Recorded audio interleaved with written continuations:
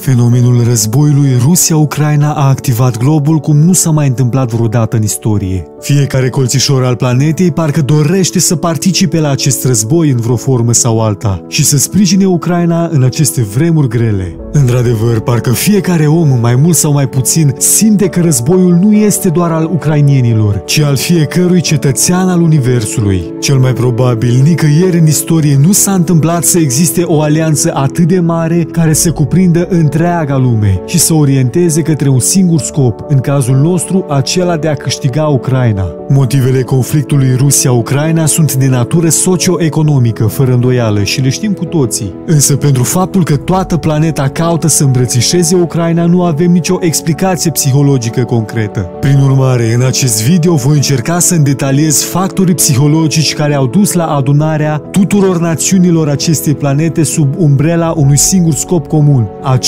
de a susține Ucraina. 1. Empatia. Cu siguranță că unul dintre elementele de bază și definitorii pentru tot ceea ce se întâmplă este capacitatea oamenilor de a empatiza. Empatia dă naștere unei superputeri umane și anume compasiunea. Empatia înseamnă să simți și să înțelegi ceea ce simte celălalt, iar compasiunea înseamnă să-ți pese în mod real de el. Prea multe lucruri negative s-au spus despre umanitate, E greșit să spui, nu mai există oameni buni în lumea asta, sau s-a pierdut omenia, acum pe fiecare îl interesează doar de el. Dacă ar fi reale și atât de exagerate, cu siguranță că n-ar merita să mai ai încredere în nimeni. În realitate însă, orice lucru are și un revers. Cu cât ororile sunt mai mari, cu atât ele oferă oportunitatea la un bine pe măsură. Iar timpurile pe care le trăim sunt o dovadă în acest sens, pentru că statele care sunt indiferente la această situație se pot număra pe degete. Unii vor spune că oamenii se comportă așa pentru că este război, altfel ar fi fost la fel de indiferenți ca pe timp de pace. Eu le-aș spune că asta demonstrează exact contrariul. Nu războiul te face mai bun, războiul doar îți dă ocazia să arăți ceea ce ai în suflet. 2. Valori liberale să ai valori precum libertatea, egalitatea și unitatea reprezintă o normalitate în timpurile noastre la nivel mondial. Aproape toate statele lumii au adoptat acest sistem de valori începând cu secolul 20. Astfel, generații întregi de oameni au crescut cu acest sistem de valori, considerându-le ca fiind normale, firești. Însă înainte și în timpul războaielor mondiale, acest sistem de valori era doar o utopie, o utopie pe care oamenii o doreau și pentru care și-au sacrificat viețile. Astfel că pentru străbunicii noștri normalitatea însemna concentrarea puterii în vârful ierarhiei sociale, iar clasele sociale de jos trebuiau să o respecte într-o formă obedientă. Asta era realitatea tristă pe atunci, care constituia normalitatea. Așadar, în acea vreme, ideea de război nu te mișca atât de mult cum o face acum. Pe atunci, războiul aproape era o normalitate, lupta pentru putere, pentru teritorii și resurse era la ordinea zilei. De ce ar fi altfel? Noi oamenii secolului 19 și 20 nu știm de egalitate, fraternitate și mai ales de libertate. E normal ca cei din vârf să lupte pentru putere și noi, cei de jos, să ne conformăm. Cele două perioade istorice sunt total diferite, iar ideea de normalitate va fi pe măsură. În trecut era acceptat social să existe războaie. Oamenii se nășteau în război, luptau în război și mureau în război. De ce ar fi altfel decât este? Războiul este normalitate. Însă în prezent, la 80 de ani distanță de ultimul mare război, lucrurile sunt total diferite. În acești 80 de ani, valorile liberaliste au avut timp să fie adoptate de următoarele generații și să fie integrate în societate. Astfel că ideea de libertate împreună cu celelalte valori surori sunt recunoscute la nivel mondial. Asta este normalitatea din zilele noastre. O normalitate fără dominație și războaie, ci o normalitate caracterizată de colaborare și alianță. Dacă e să tragem linie, e evident că întreg globul s-a opus războiului din Ucraina. Pur și simplu cea mai mare parte a lumii nu concepe să existe un război. Tocmai de aceea toate forțele sunt concentrate pentru a-l estompa. Asta ne duce la punctul următor.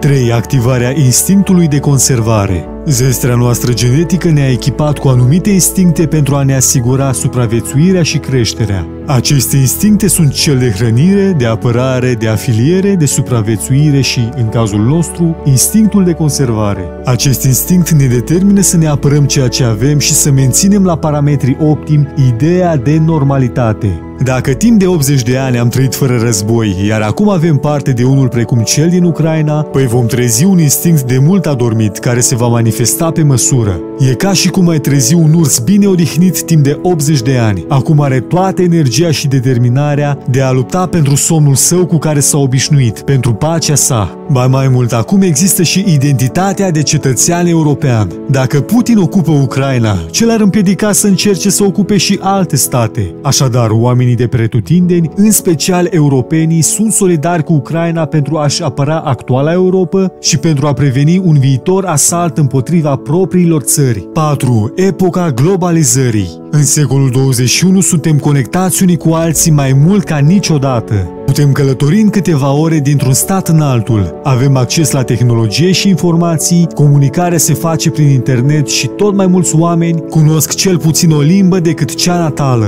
Toate acestea ne duc mai aproape unii față de alții, fără ca măcar să ne dăm seama. Așadar, toate acestea sunt prerechizite pentru ideea de colaborare și alianță. E mult mai ușor acum să te alături altor oameni și state pentru că ești mult mai asemănător lor. Iar când apare un inamic precum Putin care vrea să ocupe Ucraina, oamenii de pe tot globul inconștient vor fi mai solidari pentru că se simt indirect conectați cu ea. De ce există oameni care nu susțin Ucraina? Din păcate, sunt oameni care nu văd situația într-o manieră sănătoasă. Sunt trei motive principale pe care eu le-am identificat în această direcție. 1. Sunt prost informați. Este o grămadă mare de informație falsă, propagandă rusească și manipulare informațională pe tot internetul. Mulți dintre noi nu știm să facem diferența între informația adevărată și cea falsă. De unde mai pui vulnerabilitatea minții umane în fața informațiilor, e clar că vom fi foarte ușor manipulați de tot felul de știri ce falsifică realitatea. Acesta este motivul pentru care am oferit soluții în videoul anterior. 2. Sistem de valori diferit.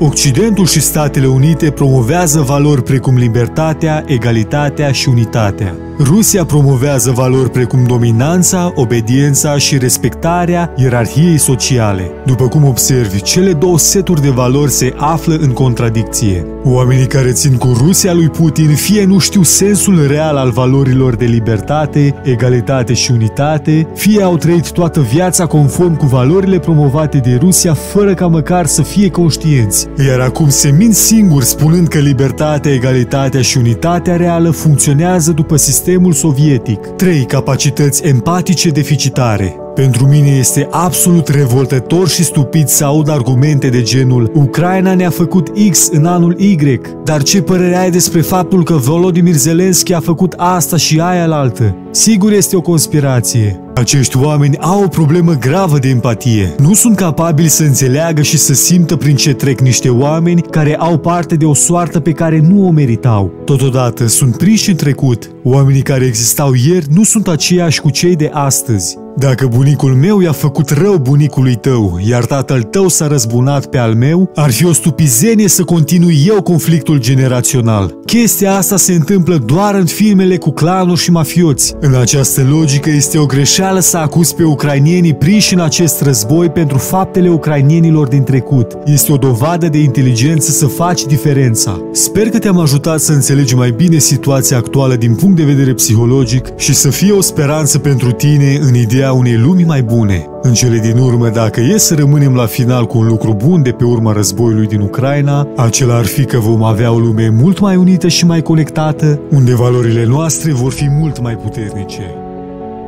Dacă ți-a plăcut acest clip, oferi un like și un comentariu cu părerea și experiența ta despre acest subiect. Mai important, abonează-te la canalul Semped dacă te interesează psihoeducația. Până data viitoare, ai grijă de sănătatea ta mentală.